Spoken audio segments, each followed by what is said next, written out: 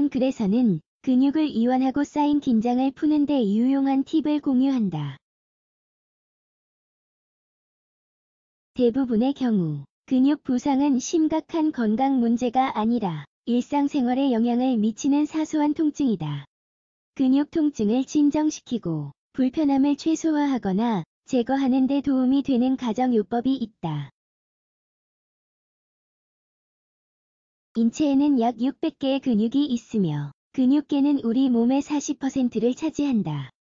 그러니 만약 심각한 근육 부상을 당했다면 주저하지 말고 전문적인 도움을 받아야 한다. 일부 부상의 경우 상태를 진정시키고 회복을 돕기 위한 특정 기술을 필요로 한다. 하지만 가벼운 부상을 입었다면 이를 진정시킬 수 있는 가정요법이 있다.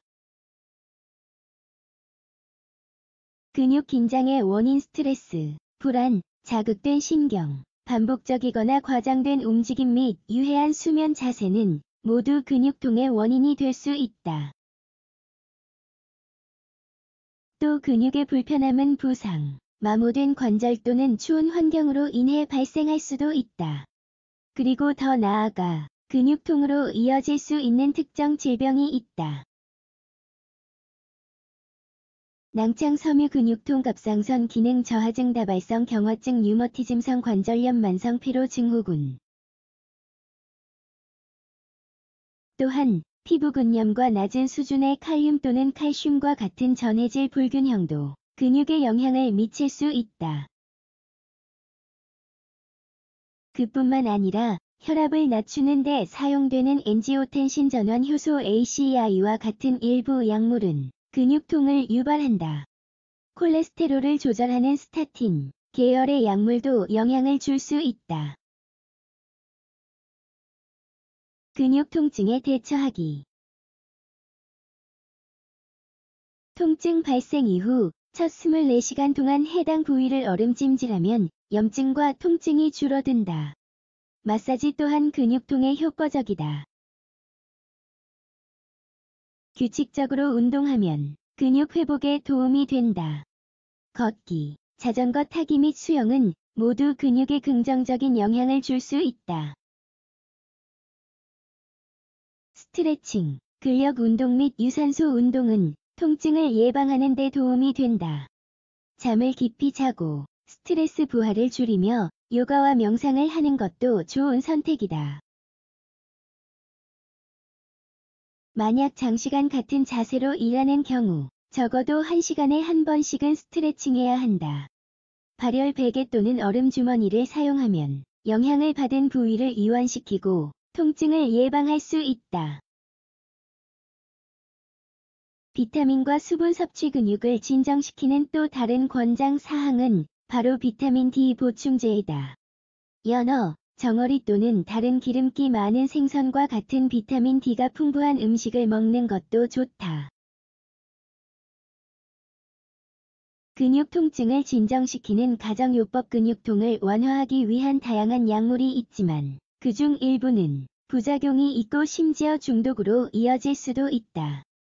따라서 가장 좋은 방법은 가정요법을 활용하는 것이다. 1. 캐모마일, 민트 또는 체리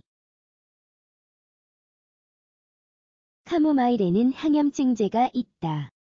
그래서 매일 카모마일 차를 마시거나 영향을 받은 부위에 카모마일 오일을 사용하는 게 큰 도움이 될 수 있다. 민트 또한 근육통을 완화하는 데 아주 효과적이다. 민트는 통증 완화, 항염증 및 경련 방지 특성을 자랑한다. 빨간 체리는 항산화 항염 작용을 한다. 그래서 자연스럽게 근육을 진정시키고 만성 근육, 관절염 또는 섬유 근육통에 맞서 싸운다. 2. 카엔 페퍼 카엔 페퍼에 들어있는 캡사이신은 근육 이완제와 진통제로 작용한다. 카엔 페퍼 1작은술과 뜨거운 올리브유 2작은술을 섞어 아픈 부위에 바른다. 3. 앱소염 앱소염에서 발견되는 마그네슘은 근육이 원활하게 작동하는 데 중요하다. 이는 신경계를 이완시키고 몸에서 독소를 제거하면서 근육 경련, 발작 및 긴장과 싸운다. 4. 로즈메리와 발레리안 로즈메리는 근육 염증과 통증을 진정시킨다. 그래서 혈액순환이 개선되어 신체가 더 빨리 회복되게 할 수 있다. 또 로즈메리는 류머티즘 관절염, 근육통 및 두통에 좋다. 차로 마시려면 뜨거운 물 한 컵에 로즈메리 1작은술을 넣은 다음 잎을 건져내고 마신다.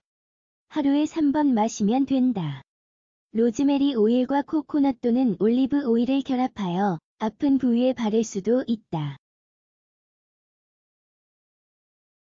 한편 항염증제와 진통제인 발레리안 오일은 근육, 특히 목 부위의 근육을 이완시킨다. 발레리안의 진정 효과는 스트레스를 완화하고 잠들 수 있도록 도와준다. 5. 아르니카와 라벤더 아르니카는 근육통과 염증에 대한 최고의 자연 요법 중 하나이다. 혈액순환을 개선하는 것 외에도 항염증 및 진통제 특성을 자랑한다. 아르니카를 크림으로 사용할 수도 있다. 영향을 받은 부위에 매일 2번 발라주자. 라벤더 또한 근육의 부기와 통증, 특히 등, 목 및 다리 통증과 싸우는 항염증제 특성이 있다. 라벤더는 긴장이 원인일 때 관절염, 관절통 및 두통과도 싸운다. 6. 시계꽃꽃 시계덩굴 또는 자주색 시계풀이라고도 알려진 시계꽃은 근육염증, 생리통 또는 두통에 좋은 또 다른 가정요법이다.